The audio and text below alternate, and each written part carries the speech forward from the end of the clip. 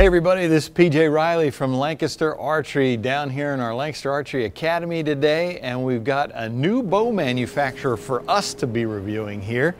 We've got some Darton target bows. Got two of them here we're going to tell you about. I'm holding the Tempest ET behind me. We've got the Vegas ET. Great target bows from Darton that we want to tell you all about. And before we start, we have to mention a lot of the technology that you have on any compound bow originated from Darton. So Darton is new for us to review, but Darton by no means is new to the archery industry. They have uh, done a lot of the groundbreaking on a lot of the uh, compound technology that we see today. Um, but we want to tell you about these two bows, the Tempest ET and the Vegas ET.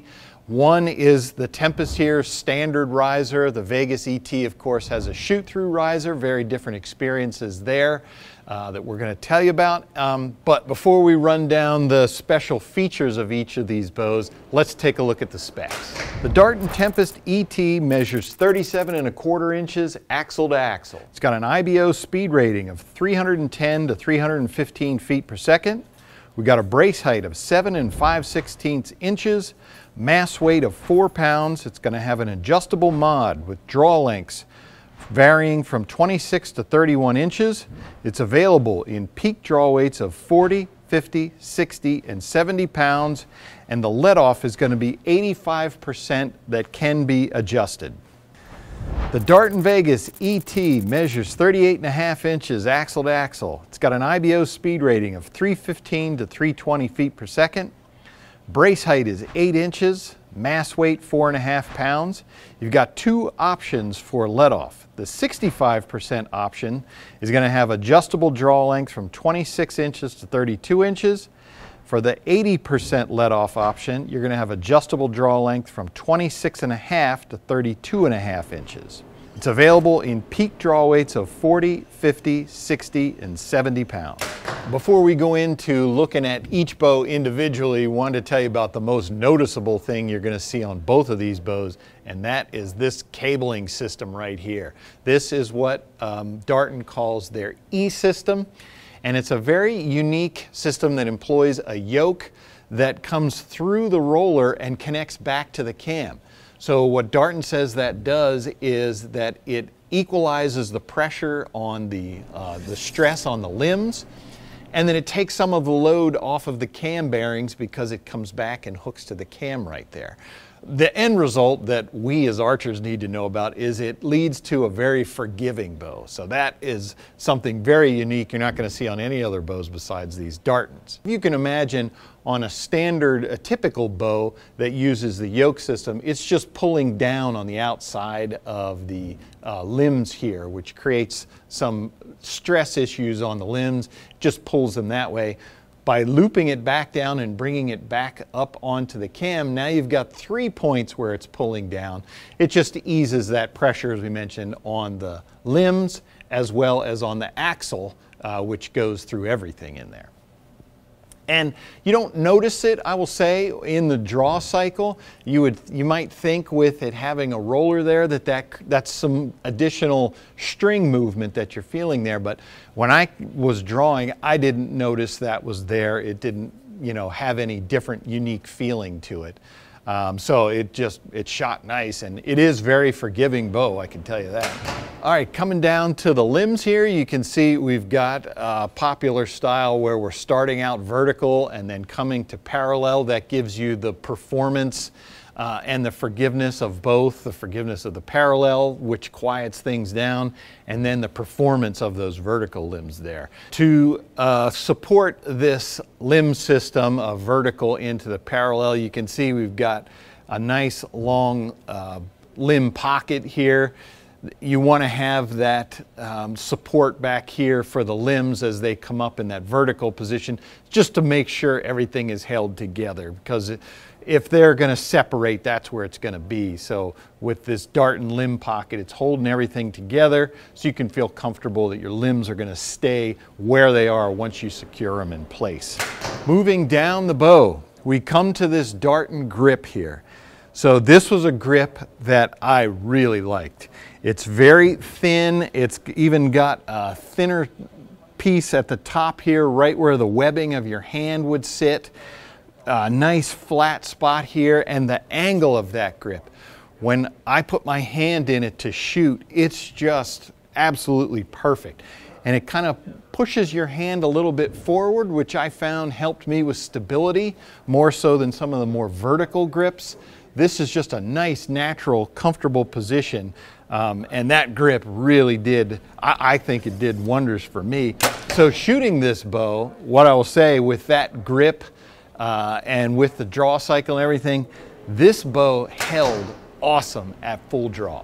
When I was aiming, um, this is my regular stabilizer setup uh, that I use for target archery, and the bow just sat nice and still. Put the pin where I wanted it, it just sat there. I was able to execute my shot. Uh, the draw cycle is nice on this bow. There's no real high points that you feel like you have to get over to get back to full draw. So on both of these bows, the cams employ both a uh, cable stop and a limb stop. And this cable stop here, it's got this big, long, flat pad there that comes around. That thing hitting the cable, it feels like a limb stop anyway. You can use the limb stop for added stability, but I really like the feel of this big pad hitting that cable there. It feels rock solid. There's not much give, not much sponginess there. But as we mentioned, you can tweak the let off a little bit. So how you would do that is with the limb stop. At its max position, that is when the uh, cam rolls around and the cable stop hits the cable, if you set the timing of the limb stop right there, that's going to be your max let off. If you slide it forward a little bit, that's where you're going to be able to reduce that let off just a little bit in order to play with, you know, if you want more holding weight, that's how you would do that. At the shot, this bow, you know, performs like any other compound bow. I was shooting a hinge with it. Um, so just going through my normal shot process, this bow responded to that. I will say that um, as the string came forward and hit the string stop, I did feel a little bit of vibration in my hand, but it's not that vibration uh, that you worry about where the bow really wants to jump.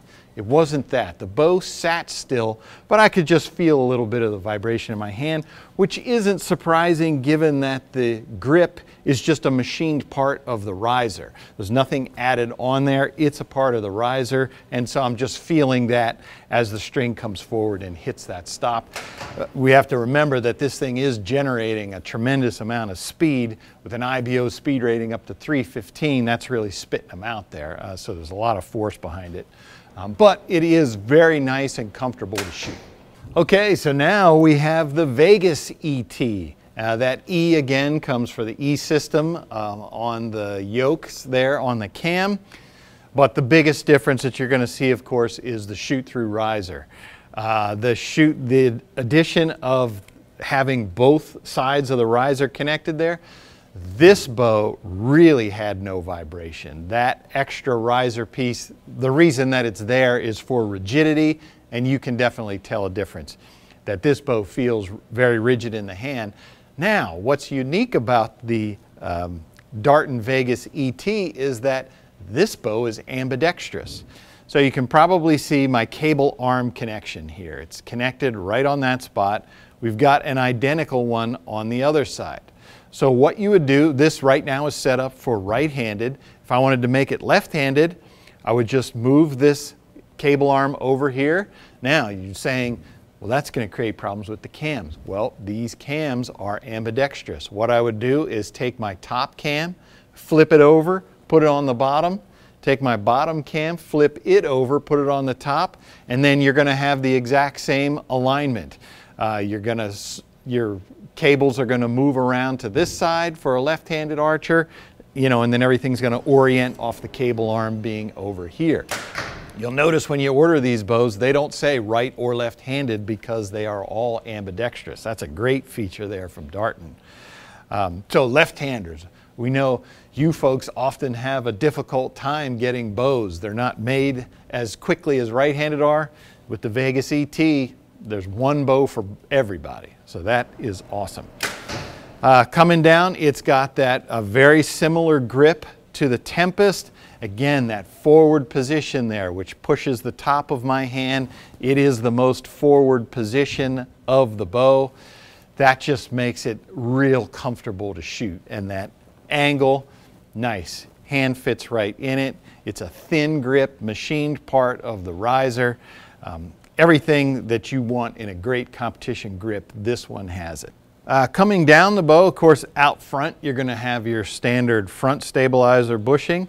And then uh, on the back here, you've got two positions for your sidebar or your V-bars, wherever you want to put them. You can get that positioning, that weight a little bit higher or a little bit lower if you want. Uh, whichever you prefer, that's always great. This bow uh, has an 8 inch brace height, so this bow is super forgiving. That's about as big a brace height as they make. And 8 inches is always forgiving. What that means is then you can have little mistakes with your hand, you know, maybe you torque it a little bit, and the effects of that downrange are not as severe as if you have a shorter brace height. So that 8 inch brace height is nice.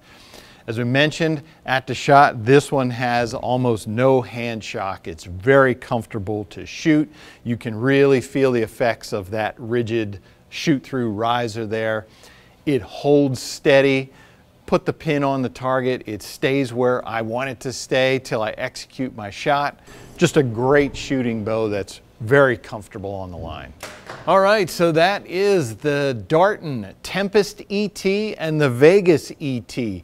Two brand new bows for us to take a look at here at Lancaster Archery from Darton.